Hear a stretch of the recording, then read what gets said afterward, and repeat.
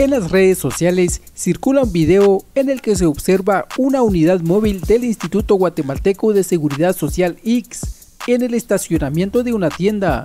En el vehículo se observa a dos personas, pero lo que llamó la atención de los internautas fue que en uno de los asientos se ve un paquete de cervezas.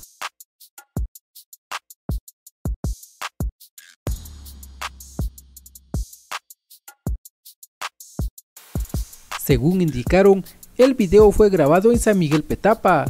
Hasta el momento, ninguna autoridad se ha pronunciado al respecto y se desconoce la identidad de los responsables de la unidad móvil.